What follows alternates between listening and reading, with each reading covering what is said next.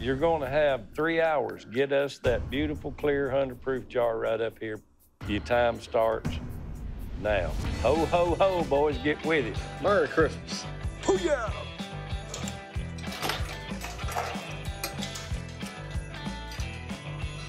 The holidays are all about getting family together and loving everybody.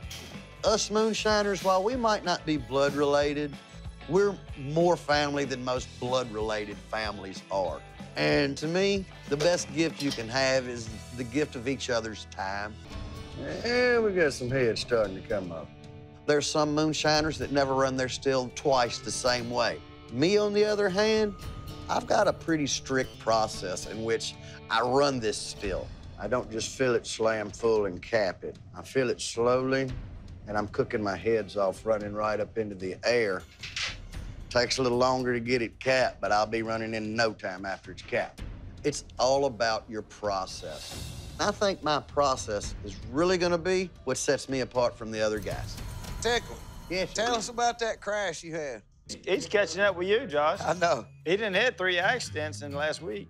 Yeah, this Tennessee ain't no good place for him. Damn, all the bad happened to him. You're a poster child for safety compared to him. You see, I got this little bitty, uh, it's got a little four-wheeler motor in it, but it looks like an old Army Jeep, right?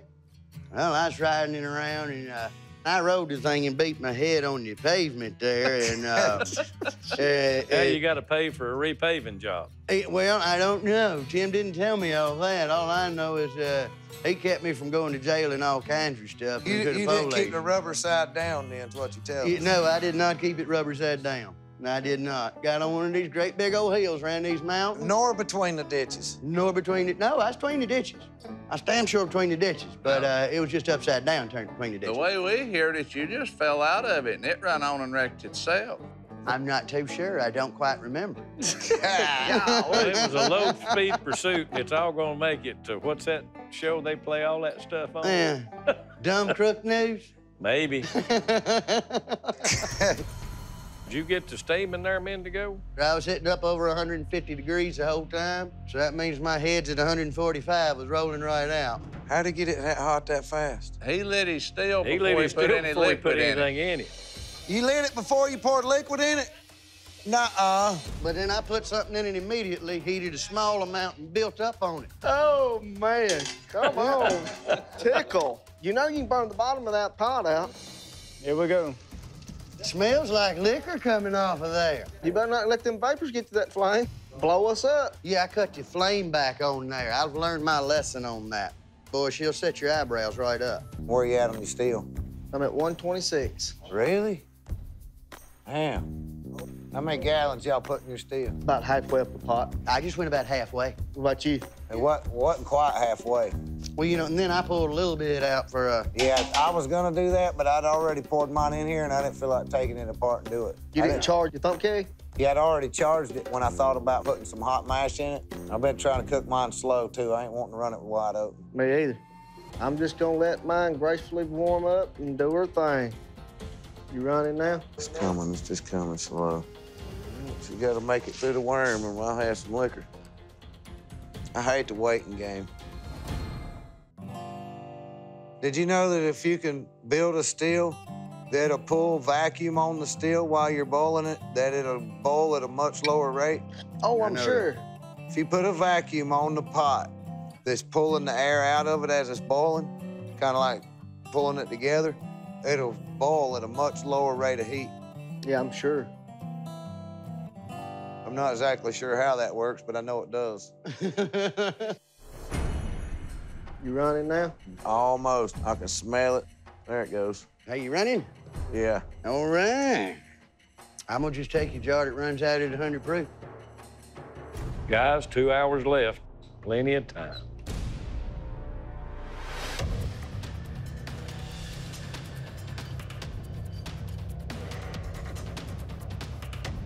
Four jars.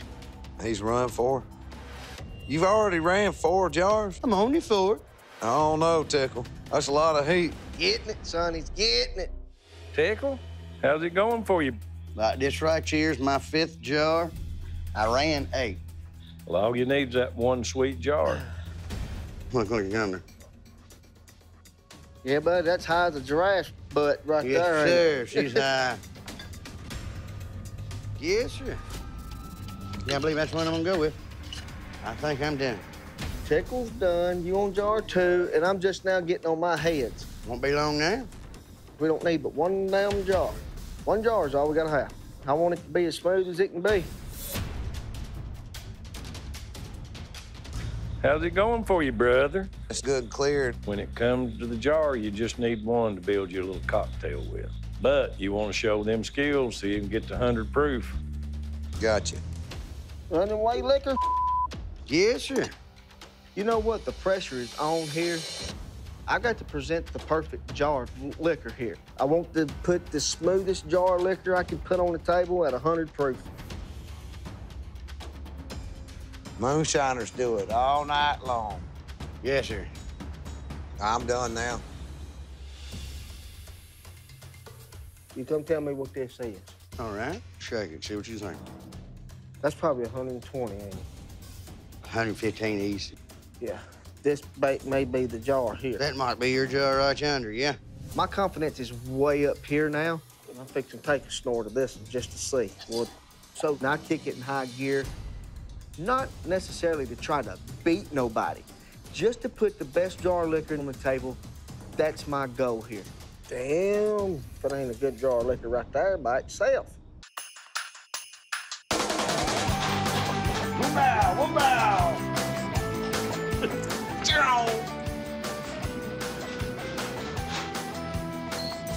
All right. Thank you, buddy. Welcome back, boys. We tasted your liquor, we proved your liquor. Of course, taste wasn't no criteria, but everybody's liquor is, uh, what was that word? Satisfactory. It's suitable for drinking, and will make a fine cocktail. That's your next challenge. Young's done a pretty damn good job at hitting the proof with your eye. Really good. There's no lack of experience here. Out of all three of you, you're pretty daggone good. Thank you. Thank you. Appreciate it. Before we give y'all the pecking order, anybody want to look at their bead and give us their guess before we throw it out there?